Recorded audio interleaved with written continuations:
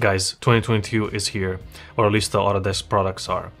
Now, I haven't taken a deep dive into all the new features yet, but there are a lot of videos about this at this point. But one thing caught my attention, and that is the new integration between Revit and Formit. Hi everyone, Alberto with BIM Lounge, it's good to see you. Now in this video I'm going to give you my first impressions about working with Formit and Revit and uh, let you know what I like and uh, what I think can be improved. Let me show you. So for this exercise I'd like to test out Formit 2022 with Revit 2022 to see if we can achieve some kind of uh, immersive uh, sketching.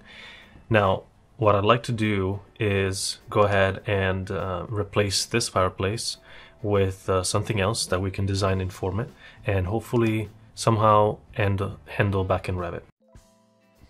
Now I was going to take advantage of this exercise so I, can also show you how you can uh, easily create 3D section box views with a 22 app. Now we already have the room, we're going to analyze the living room so what I'll do is head over to the 22 plug in and we're going to create the view.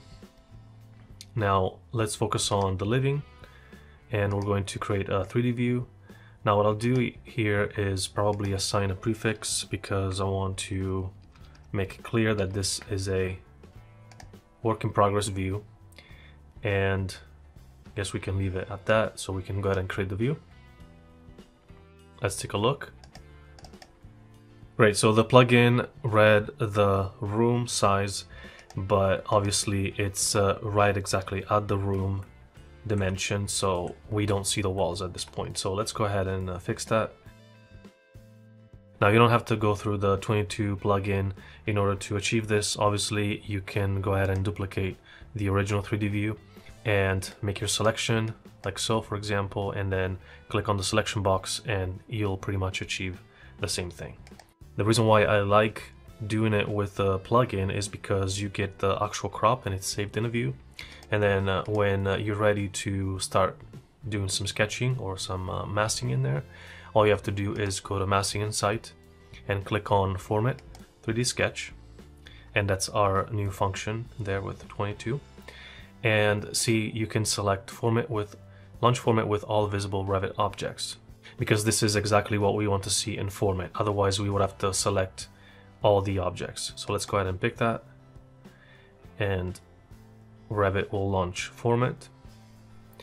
And as you can see, that's exactly the selection that we have created in Revit.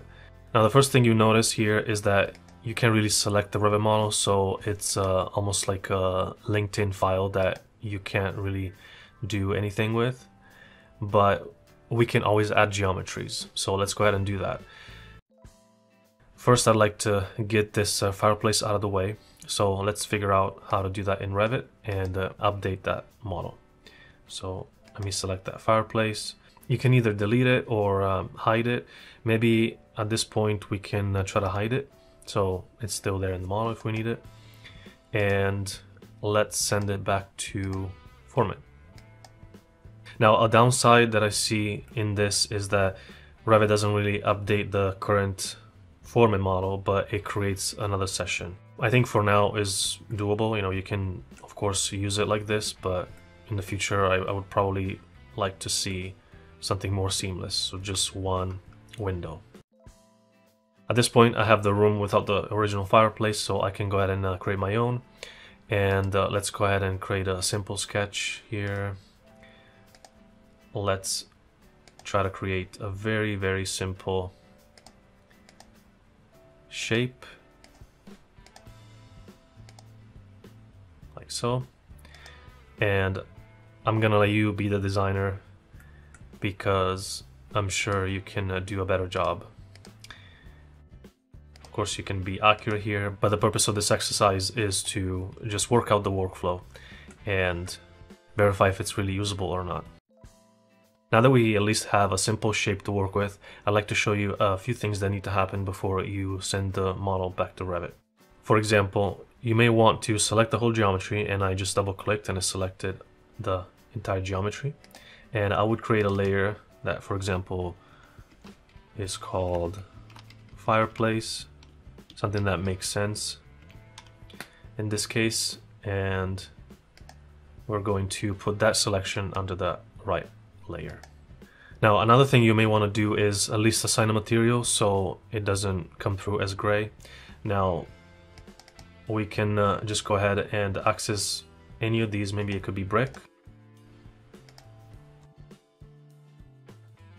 Maybe we can go ahead and uh, select that brick and assign it to all those faces like so so that we at least have a material that we can show in Revit. Now that we're done, we can uh, send the model back to Revit and you see you have this new icon right there. And of course, we're going to send all the visible items. And right away, I noticed that we seem to need to adjust the insertion level of this geometry. For example, for some reason, it's reading foundation instead of level one. So let's fix that to level one. And you see that the base point of the fireplace updates just fine. Now let's head over to uh, 3D view that I created there.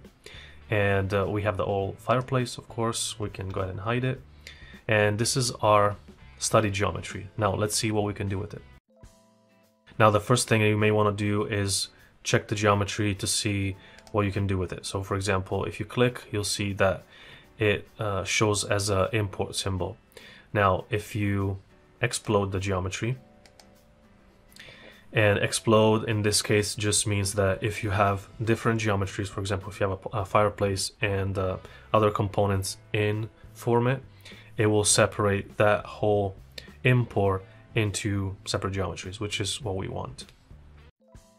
Now in Formit, we assign the material, so let's go ahead and see if it's visible in Revit. So of course, we can head over to the realistic view and uh, the material is shown properly and uh, you can modify the material within Revit.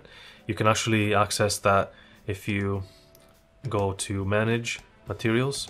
What's interesting here is that the material will be grouped under Formit and this is our material. So you can uh, go ahead and um, tweak the material from there and uh, the asset seems to be the same as the one that you see in Formit, so you have that as well. What can you actually do with the geometry?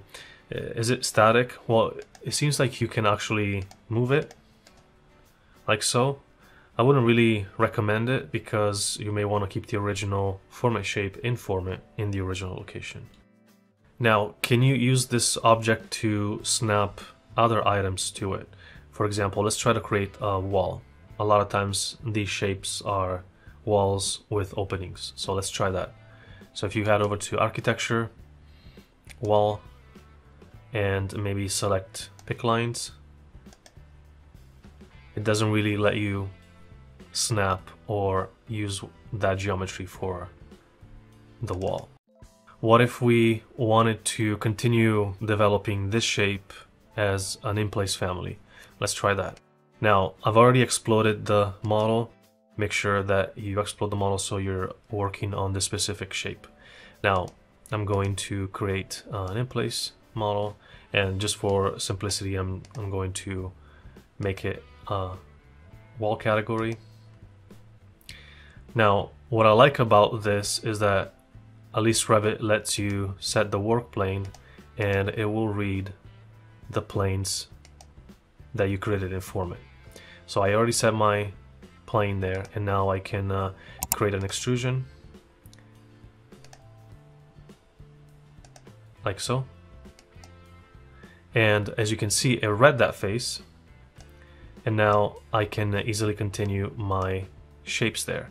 Now you could recreate the whole geometry in Revit as an in-place family, but it probably defeats the purpose of using Formit.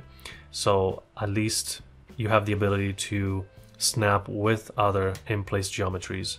Uh, that should help. Now, based on this first very simple exercise, these are the things that I like and things I think they should be improved.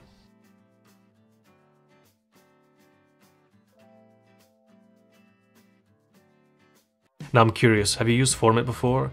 And after seeing this, uh, do you think you'll uh, be playing with it more? Let me know in the comments. Thanks for watching and let us see you in the next one.